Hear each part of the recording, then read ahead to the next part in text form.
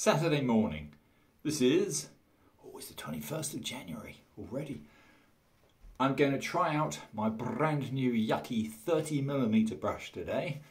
Um, more to the point though, I was very happy to hear that our Jeff has had a, a successful shave. Only about his third or fourth straight razor shave. Um, with Gary's uh, little razor. Now, it was a, a Sheffield 6.8, so it's what, 20 millimetre?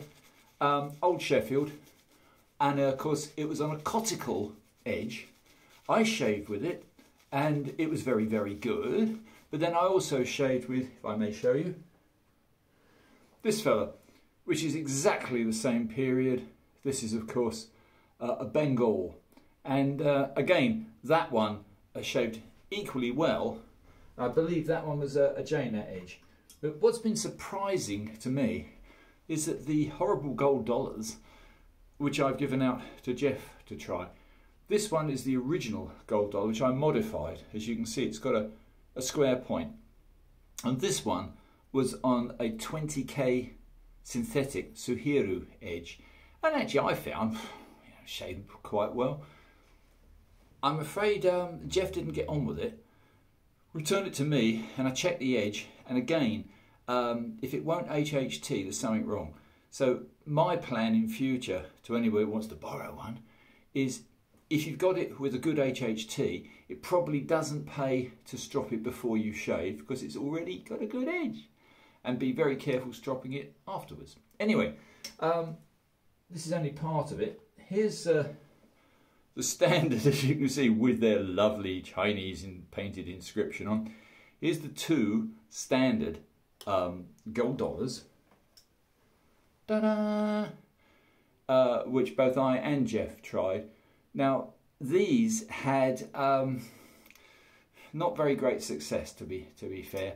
Um, I don't know why they HHT perfectly, but they were draggy, and those were on uh, a JNat uh, edge, my, my own JNat, which is probably it's an Asagi. It's probably no bloody good.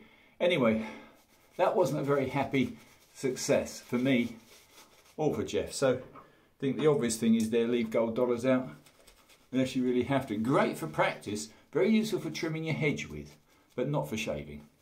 Anyway, I'm going to try, just to prove to myself a point, I'm going to try a couple of strokes with a returned uh, gold dollar from Jeff.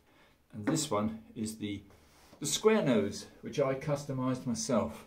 So, as you can see, that's not your normal gold dollar 66. That's, uh, again, is it's on a synthetic edge, 30k. Let's see. Yeah. Mm, it's all right. I've had better. Um, now let's try what I did the other day, which is this lovely little Bengall, which is the, uh, um, again, this is not my edge though, this is someone else's edge. Oh, noticeably better. Yeah. Not hugely, but as you can hear, it's a deeper hollow grind than the rather crappy little uh, Chinese gold dollar and everything just takes getting used to I suppose but I would say that this Bengall uses a totally different sound when you're shaving.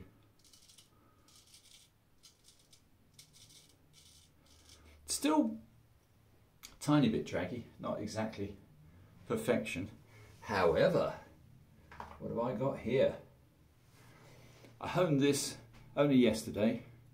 This is a very late Filarmonica, double tempo, um, probably 1970s. But um, you can always tell it's got the late scales. It's got not the most highly polished finish to it. Uh, a very good finish to it, but this one uh, was new, old stock, but had uh, a flat on the edge. And the actual quality of the edge, it was a rubbish edge. It was really very, very rough. So I've put it to the stones. I'm going to try now Yeah, chalk and cheese. Yeah. That is absolutely beautiful. As Gary and others have stated quite rightly, you can uh, you can't really go wrong putting any edge on a gold uh, on a on a Filarmonica of that period. Yep. Smooth as a baby's bum. Look at that. Just with one stroke. So yeah, um, for my own personal preference, I'm going to stick to uh, what I know, which tends to be deep hollows, preferably Spanish, preferably Filarmonica, and uh, I'll still practice anything else that comes my way. But I would certainly say if you lend out a razor to somebody that isn't uh, a totally expert, a little bit new to the subject, the warning should be don't really go mad on stropping because stropping in itself is a bit of an art and if you get it wrong you'll actually blunt the edge and none of the returned razors that uh, Jeff tried would pass HHT until I'd gone over them again. In fact usually a little touch of the old green, if I can find it over here, little touch of the green compound, the CRX uh, chromium oxide, usually will bring it back instantly. Only about 12 strokes will do it. But I would not say that as a golden rule. I would still say if a razor has a very good edge and it's HHTing perfectly, then leave it. Just shave with it. Don't bother stropping it. Anyway. Oh, that is nice. I'm going to um, continue having a little shave.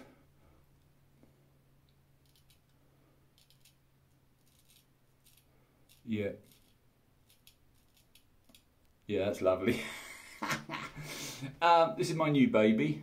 Um, I've had it for a few months, but I, I, didn't bother putting a new edge on it because I just like looking at it.